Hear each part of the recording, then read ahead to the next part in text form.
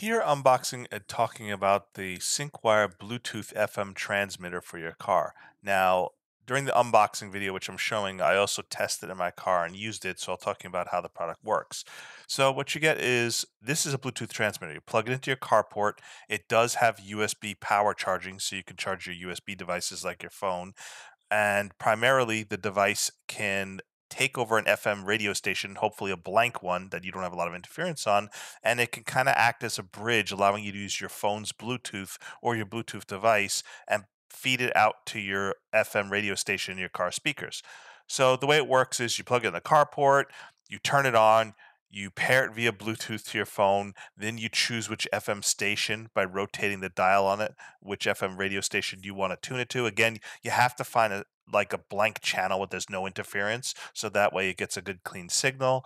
It works pretty well, but if your carport is recessed, you can have a hard time accessing the buttons.